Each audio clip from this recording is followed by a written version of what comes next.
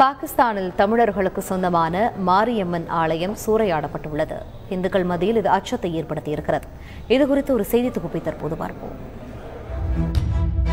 பாகிஸ்தானின் கராச்சி நகரில் நூற்றுக்கணக்கான தமிழர்கள் குடும்பத்துடன் வசித்து வருகின்றனர்.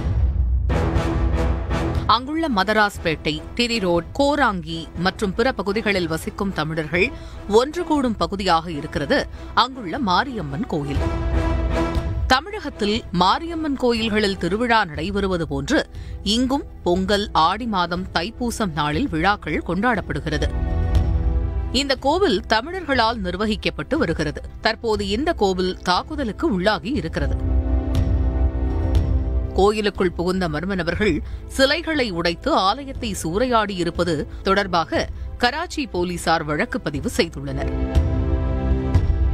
இதனையடுத்து அங்கு இந்துக்கள் வசிக்கும் பகுதிக்கு பாதுகாப்பு அதிகரிக்கப்பட்டுள்ளதாக போலீஸ் தரப்பில் தெரிவிக்கப்பட்டுள்ளது. பாகிஸ்தானில் சிறுபான்மையினர் வழிபாட்டு தலங்கள் தாக்குதலுக்கு உள்ளாவது தொடர்கதையாக இருந்து வருகிறது. அண்மையில் முகமது நபிகள் குறித்து பாஜக பிரமுகர் நுபுர் சர்மா தெரிவித்த சர்ச்சை கருத்துக்கு பாகிஸ்தானும் கண்டனம் தெரிவித்திருந்தது.